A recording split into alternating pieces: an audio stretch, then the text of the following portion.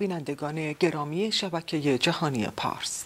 من لیلا هاشمیان هستم و در این ساعت توجه شما را به خبرهایی از ایران و سایر نقاط جهان جلب می کنم نخست مرور خواهیم داشت بر خلاصه از مهمترین خبرها.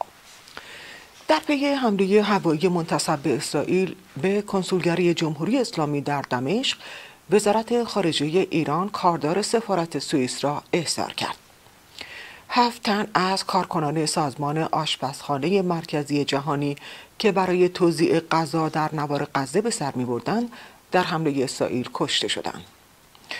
نرگس محمدی می‌گوید علیرغم دستور اوژانسی پزشکان اوین مقامات زندان مانع اعزام صدیقه بسمقی به بیمارستان شدند.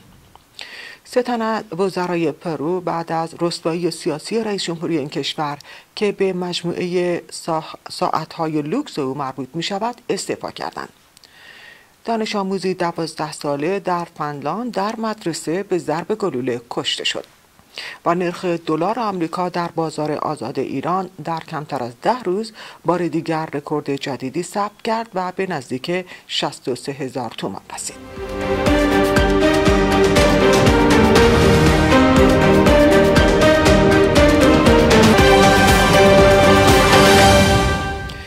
توجه شما را به مشروع خبرها جلب می کنم. امروز شنبه دوم اپریل 2024 میلادی برابر است با چهاردهم فروردین ماه سال 1403 خورشیدی. در پی حمله هوایی منتصب به اسرائیل به کنسولگری جمهوری اسلامی در دمشق که به کشته شدن شماری از اعضای ارشد سپاه پاسداران انجامید وزارت خارجه ایران کاردار سفارت سوئیس را به عنوان حافظ منافع آمریکا در ایران احضار کرد. حسین امیر عبداللهیان وزیر خارجه جمهوری اسلامی بامداد سهشنبه چهاردهم فروردین ماه در شبکه اجتماعی ایکس با اعلام این خبر نوشت که پیام مهمی به دولت آمریکا به عنوان حامی رژیم صهیونیستی ارسال شد. به گفته امیر عبداللهیان در این احضار ابعاد حمله تروریستی و جنایت رژیم اسرائیل تبیین و مسئولیت دولت آمریکا مورد تاکید قرار گرفت. وزیر خارجه ایران در نهایت تاکید کرده که آمریکا باید پاسخگو باشد. این در حالی است که وزیر دفاع اسرائیل در نخستین واکنش غیر مستقیم به حمله منتصب به این کشور علیه کنسولگری ایران در دمشق گفت اسرائیل برای عقب راندن دشمنانش همه جا وارد عمل می شود یا گالانت همچنین به دشمنان اسرائیل هشدار داد هر حمله علیه این کشور بهای سنگین خواهد داشت. این در حالی است که وبسایت اکسیوس به نقل از یک مقام آمریکایی که نامش را اعلام نکرده می‌گوید ایالات متحده به ایران گفته که هیچ دخالت یا اطلاع دقیقی در مورد حمله اسرائیل نداشته است. به نوشته اکسیوس این پیام نشان می‌دهد که دولت جو بایدن نگران است که حمله اسرائیل به تشدید تنش منطقه‌ای و از سرگیری حملات شبه نظامیان طرفدار ایران علیه نیروهای آمریکایی منجر شود. حمله هوایی منتصب به اسرائیل به ساختمان کنسولگری جمهوری اسلامی در دمشق که در مجاورت سفارت ایران قرار دارد به کشته شدن هفت افسر سپاه پاسداران انجامید که محمد رضا زاهدی از فرماندهان ارشد سپاه پاسداران از جمله آنها بود. شش شهروند سوری هم در این حمله کشته شدند. اتحادیه اروپا با ابراز نگرانی از حمله به کنسولگری ایران در دمشق نسبت به تشدید تنشها هشدار داده است. دیپلمات ها می‌گویند که شورای امنیت سازمان ملل در مورد حمله به کنسولگری ایران در دمشق امروز جلسه اضطراری برگزار خواهد کرد. چین هم حمله به کنسولگری ایران در دمشق را محکوم کرد. مقامات ایران به طور گسترده نسبت به این حمله واکنش نشان داده و آیت الله خامنه رهبر جمهوری اسلامی گفته است که اسرائیل را پشیمان خواهیم کرد. ابراهیم رئیسی رئیس جمهوری اسلامی هم گفته است که حمله هوایی مشکوک اسرائیل به ساختمان کنسولگری ایران در دمشق بی پاسخ نخواهد ماند. با وجود اعتراض گسترده مردم، کارشناسان و فعالان حوزه های مختلف در روزهای اخیر نسبت به ساخت مسجد در پارک قیتریه، اعضای شورای شهر تهران بر تصمیم خود در این رابطه پافشاری می کنند. مهدی چمران رئیس شورای شهر تهران روز سهشنبه بر ساخت مسجد در پارک قیتریه تاکید کرد و گفت تهران مسجد کم دارد و باید 400 مسجد در پایتخت ساخته شود. وی به برخی انتقادها درباره حضور کم تعداد مردم در مساجد موجود و ضروری نبودن ساخت مسجد جدید در تهران واکنش نشان داد و گفت کسانی که می‌گفتند مساجد در شب قدر خالی هستند میزان حضور مردم را در شبهای قدر ندیدند به گفته چمران مسجد در حکومت جمهوری اسلامی از اهمیت بسیاری برخوردار است زیرا به گفته او انقلاب سال 57 با مسجد آغاز شد. تعدادی از شهروندان روز 13 فروردین ماه در اعتراض به ساخت مسجد در پارک قیتریه در این مکان تجمع اعتراضی برپا کردند و زنجیره انسانی تشکیل دادند. گروه های شبه نظامی تحت حمایت جمهوری اسلامی از عراق و سوریه و لبنان و نیز گروه های فلسطینی و برخی فرماندهان نیروی قدس سپاه پاسداران در هفته های اخیر جلساتی سری در تونل های حزب الله در جنوب لبنان برگزار کردند. محمد رضا زاهدی فرمانده ارشد نیروی قدس سپاه پاسداران که در حمله اخیر اسرائیل به کنسولگری ایران در دمشق کشته شد از جمله حاضران در برخی از این جلسات بوده است. سه منبع متفاوت از گروه های شبه نظامی تحت حمایت جمهوری اسلامی گفتند که نمایندگان برخی گروه های عراقی از جمله کتائب حزب الله النجبا و بعد و نمایندگانی از حوسی های یمن در این نشست ها حضور داشتند به گفته منابع نمایندگان دو گروه افراطی حماس و جهاد اسلامی هم در این جلسات شرکت کردند. دو منبع تاکید کردند که در برخی از جلسات مشترک ابو عبیده سخنگوی گروه حماس هم حضور یافته است. هفت تن از کارکنان سازمان آشپزخانه مرکزی جهانی که برای توزیع غذا در نوار غزه به سر می بردند در حمله اسرائیل کشته شدند. پایان عملیات نظامی در بیمارستان شفا و بیانیه مشترک اسرائیل و آمریکا در خصوص حمله احتمالی به رفح از دیگر تحولات مهم بحران غزه در 24 ساعت گذشته بودند. در حمله ای که اواخر شب گذشته رخ داد کارمان خودروهای سازمان آشپزخانه مرکزی جهانی شامل دو خودروی زرهی با لوگوی این سازمان و یک وسیله نقلیه دیگر هدف قرار گرفت آشپزخانه مرکزی جهانی در بیانیه اعلام کرد که این خودروها در منطقه ای غیر جنگی در حال تردد بودند و مسیر حرکت آنها از پیش با ارتش اسرائیل هماهنگ شده بود روزنامه گاردین نوشت که کشته شدگان از استرالیا، لهستان، بریتانیا و فلسطین بودند و یک شهروند آمریکایی کانادایی هم در میان آنها دیده می شود. این افراد ساعتی پیش از حمله مرگبار اسرائیل غذا و دیگر کمک های بشر دوستانه را در شمال نوار غزه توضیح کردند. بنیامین نتانیاهو نخست وزیر اسرائیل در یک پیام ویدیویی از کشته شدن این هفت تن ابراز تاسف کرده و این حادثه را غمانگیز و ناخواسته توصیف کرد نرگس محمدی برنده جایزه نوبل و فعال حقوق بشر زندانی در ایران می‌گوید که علیرغم دستور اورژانسی پزشکان اوین مقامات زندان اوین مانع اعزام صدیقه بسمقی اسلام پژوه و فعال مدنی به بیمارستان شدند. به نوشته خانم محمدی صدیقه بسمقی به دلیل حجوم وحشیانه به خانهاش دچار استراب شدید شده بود و علیرغم اینکه پیش از بازداشت از وضعیت جسمانی مناسبی برخوردار بود از 28 اسفند ماه دچار حمله های عصبی فشار و سوزش در ناحیه سینه لرزش دست و پا تنگ نفس و نوسان شدید فشار خون شده است. نرگس محمدی در این پیام از زندان ابین اعلام کرد که خانم بسمقی به دلیل ضعف شدید بینایی در فشار مضاعف و غیر قابل تحملی هستند و بعد ورود به زندان پزشکان زندان طی ای عدم تحمل حبس وی را به مقامات قضایی اعلام کردند. صدیقه بسمقی 26 اسفند ماه امسال توسط ماموران امنیتی جمهوری اسلامی در خانهاش در تهران بازداشت شد و یکی از اتهامات او حضور بدون حجاب شرعی در ملع عام است. مقامات روسیه از هدف قرار گرفتن تأسیسات صنعتی جمهوری تاتارستان فدراسیون روسیه در روز سهشنبه 14 فروردین ماه خبر دادند. همزمان خبرگزاری رویترز از قول منابع امنیتی اوکراین گزارش داد که تأسیسات یاد شده محل ساخت پهپاد شاهد ایرانی بوده و پهپادهای اوکراینی آن را هدف قرار دادند. رهبر تاتارستان هم با انتشار پیامی در شبکه تلگرام گفته است که در این حملات چند تن زخمی شدند اما آسیب مهمی به تأسیسات صنعتی وارد نشده است. رسانه های روسیه می‌گویند که در این حملات هفت تن زخمی شدند. بعد از تاکید بنیامین نتانیاهو نخست وزیر اسرائیل برای بستن شبکه قطری الجزیره در اسرائیل پارلمان این کشور کنست شامگاه دوشنبه قانونی موقت را که به قانون الجزیره شهرت یافته تصویب کرد که به دولت اجازه می دهد که این شبکه را تعطیل کند. این قانون به طور موقت به دولت اختیار می دهد که از فعالیت شبکه های خبری خارجی در اسرائیل در صورتی که به نظر سرویس های امنیتی به امنیت ملی آسیب می رسانند جلوگیری کند. پیشتر بنیامین نتانیاهو نخست وزیر اسرائیل در روز دوشنبه تاکید کرده بود که دفتر شبکه تلویزیونی قطری الجزیره را تا زمانی که جنگ در غزه ادامه دارد تعطیل خواهد کرد.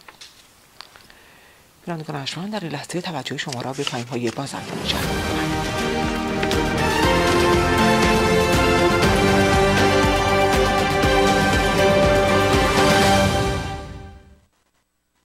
سرشناسترین وکیل جامعه ایرانی دکتر کامران یدیدی تصادفات اتومبیل موتورسیکلت صدمات بدنی حمله حیوانات زمین خوردگی. در امور تصادفات و صدمات شدید بدنی کادر قدرتمند ما برگ برنده شما بر ضد شرکت های بیمه خواهد بود. فقط و فقط یک نام دکتر کامران یدیدی. 818 999 99 99 معتبر برا. نوروز امسال هم صدف شریک شادی های شماست. از سنجد و سکه و سرکه و سماق و سمنو تا سبزی پلو و کوکو سبزی و باقالا پلوی نوروزی شما. و انواع آشهای صدف، کشک صدف و پیازداغ صدف مکمل سفره رنگین سیزده به در شما. صدف سال نو را تبریک می‌گوید و تندرستی و شادمانی برایتان آرزو می کند انتخاب صدف انتخاب بهترین هاست. جواهری پارس با مدیریت مسعود افلاتونی شنبه ها ساعت 13 به وقت لس آنجلس. 818 377 31 818 344 50 50 از شبکه جهانی تلویزیون پارس. اگر تا حالا برنج های متنوع رو امتحان کرده اید وقتش رسیده که برنج باسماتی دانه درشت دیبا را انتخاب کنید. برنج هندی دیبا در دو اندازه های مختلف در فروشگاه های ایرانی در دسترس شماست. برنج دیبا با طعم و بوی ممتاز خود جلوه خاصی به میز نهار و شام شما خواهد داد.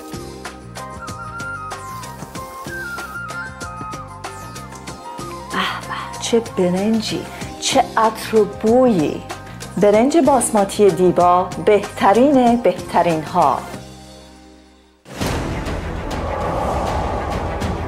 به هیچ وجه نگران فروش خانه، باغ، ویلا و یا دیگر اموال خود در هر نقطه از ایران نباشید.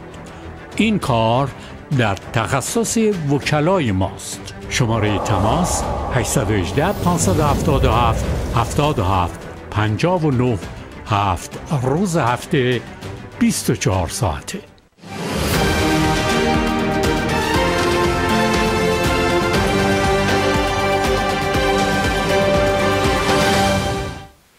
توجه شما را به ادامه خبرها جلب می کنم.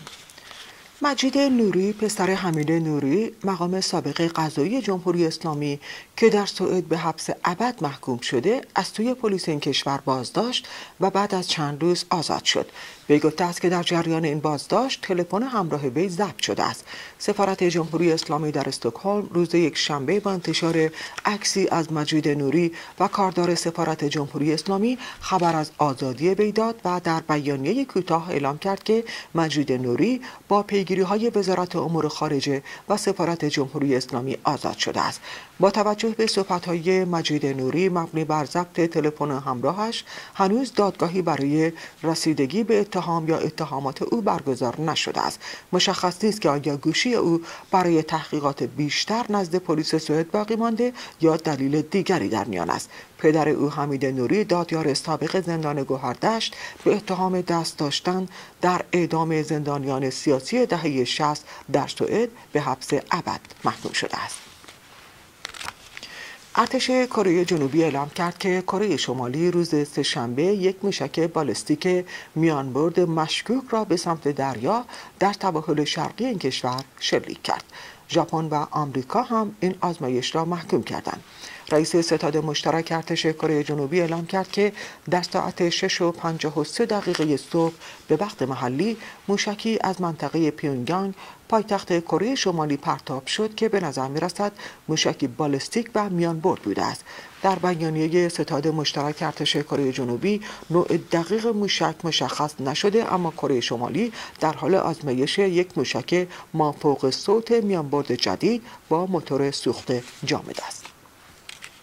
در خبری کوتاه سخنگوی کاخ سفید از سفر روز جمعه جو بایدن به بالتیمور در پی فرو ریختن مرگبار پل فرانسیس اسکاتکی در این شهر خبر داد و سوی دیگر مسئولان محلی می‌گویند که دو کانال موقت در نزدیکی محل احداث می شود. رئیس جمهور آمریکا قرار است که با مسئولان محلی و ایالتی از جمله فرماندار مریلند دیدار کند و از منطقه آسیب دیده از ریزش پل هم بازدید به عمل بیاورد وزارت دفاع آمریکا تایید کرد که یک مقام ارشد پنتاگون که در اجلاس سال گذشته ناتو در پایتخت لیتوانی حضور داشت دچار عوارضی شد که پیشتر در مقامات آمریکایی دیگر دیده شده بود و به سندرم هاوانا شهرت دارد.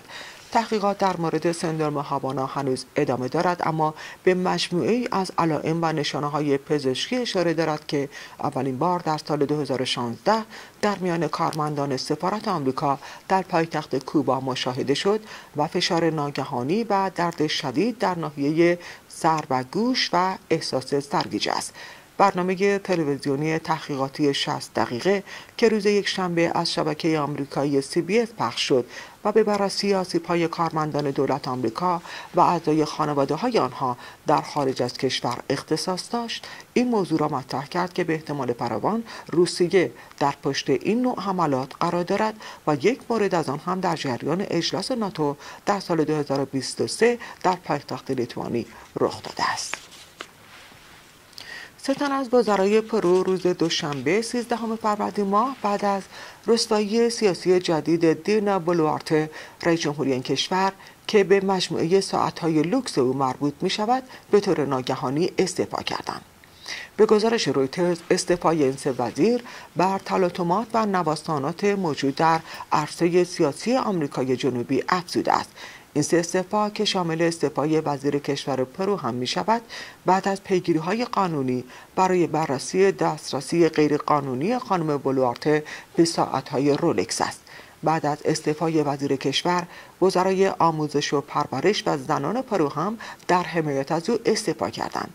استعفای این سه وزیر در حالی صورت می‌گیرد که نخست وزیر پرو تنها یک ماه است که کار خود را آغاز کرده است. نیروهای پلیس پرو در آخر هفته به خانه و دفتر خانم بلوارته یورش بردند. آنها به دنبال شواهدی مبنی بر منشأ حداقل سه ساعت رولکس بودند. بلوارته تخلفات خود را رد کرده و اصرار دارد که ساعتها را با پول خود خریداری کرده است. قانونگذاران پرویی می‌گویند که رئیس جمهور پیشتر مالکیت این ساعتها را اعلام نکرده است رسانه های ایران از درگذشته رضا داوود نژاد بازیگر سینما و تلویزیون در سن 44 سالگی خبر دادند. خانواده او این خبر را تایید کردند.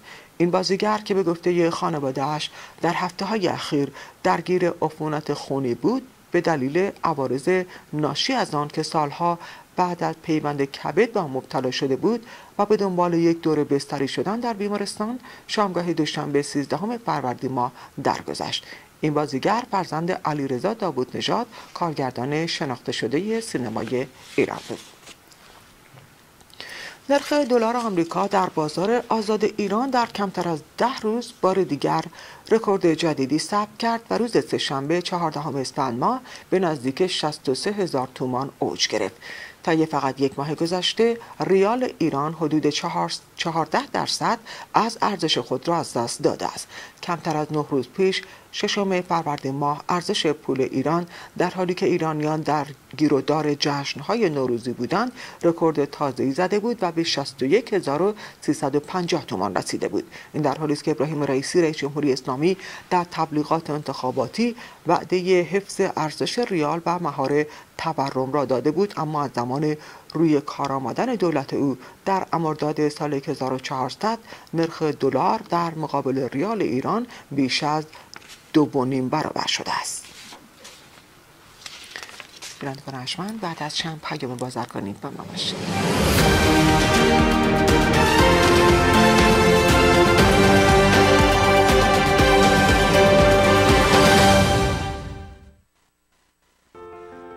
Westside Medical Pharmacy در 11 968 Wilshire Boulevard در خدمت جامعه ایرانی داروخانه Westside Medical به مدیریت دکتر سویل کاتوزی با همکاری تکنیسیان های مجرب و ارائه واکسن های روز تحویل رایگان دارو به منازل شما در همه مناطق به خصوص بورلی هیلز، Valley، West LA و سانتا مونیکا.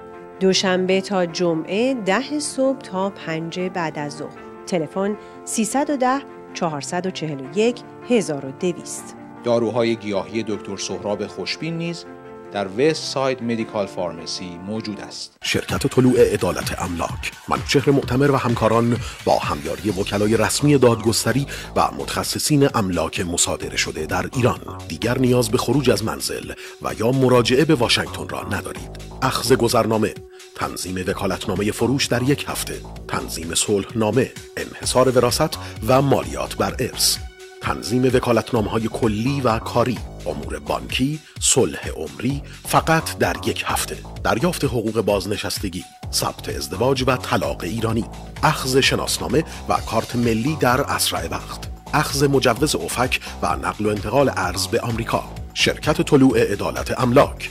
تلفن تماس 949 202 72 88 949 202 72 88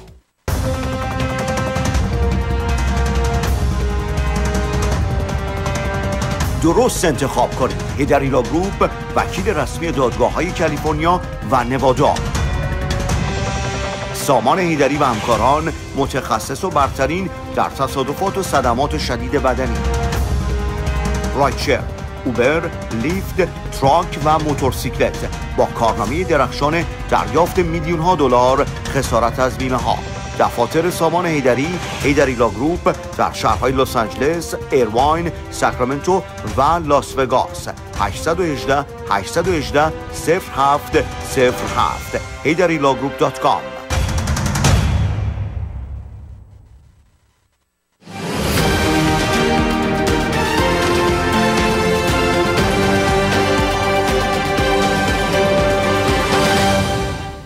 خبرها را دنبال می‌کنیم. یک مقام اداره محیط زیست مازندران می‌گوید ماده پلنگی که لاشه آن در منطقه چهاردانگه پارک ملی کیاسر پیدا شده بود بر اثر شلیک شکارچیان غیرقانونی تلف شده است. گروس ربیعی مسئول حیات بخش اداره کل حفاظت محیط زیست مازندران روز دوشنبه 13 فروردین ماه به خبرنگاران گفت که بعد از بررسی لاشه پلنگ ماده و کالبوت شکافی آن مشخص شد که بر اثر اصابت چهار پاره از توی شکارچیان غیرقانونی تلف شده است. وی همچنین اعلام کرد که وقتی لاشه این پلنگ پیدا شد حدود یک هفته از مرگش میگذشت. چهار پاره از جمله مهمات ممنوعه و غیر مجاز در ایران است. پلیس فنلاند از کشته شدن یک دانش آموز دوازده ساله در مدرسه ای در شهر مانتا در نزدیکی هلسینکی خبر داده است. دو هم مدرسه ای دوازده ساله دیگر او هم به شدت زخمی شدند. پلیس می‌گوید یک محصل دوازده ساله که مسلح به سلاح گرم بوده بازداشت شده است. تمامی این کودکان دانش آموزان کلاس ششم بودند. در ابتدا گفته شده بود که سه تن در این حادثه زخمی شدند و کسی جان خود را از دست نداده است. پلیس بدون اشاره به جزئیات بیشتر به خبرگزاری رویترز گفت که زخمی های این سانحه به بیمارستان منتقل شدند. این حادثه در دست تحقیق قرار دارد. بینندگان ارجمند به پایان بخش خبر رسیدیم سپاسگزارم از شما عزیزان که تا این لحظه با ما همراه بودید و تشکر می‌کنم از همکارم در اتاق فرمان آقای شهرتی. روزگار خوشی رو براتون آرزو می‌کنم.